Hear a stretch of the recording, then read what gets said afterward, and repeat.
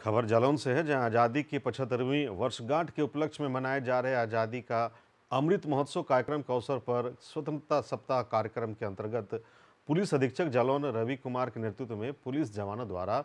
उरई नगर में निकाली गई भव्य तिरंगा यात्रा, जिसमें स्वतंत्रता की पचहत्तरवीं वर्षगांठ के अवसर पर आज़ादी का अमृत महोत्सव कार्यक्रम के अंतर्गत शाम छः बजे पुलिस अधीक्षक जालौन के नेतृत्व में अपर पुलिस अधीक्षक जालौन, क्षेत्राधिकारी नगर, क्षेत्राधिकारी लाइन, प्रतिसार निरीक्षक व अन्य पुलिस अधिकारी, कर्मचारी गण द्वारा रिज़र्व पुलिस लाइन उरई से भव्य तिरंगा यात्रा निकाली गई।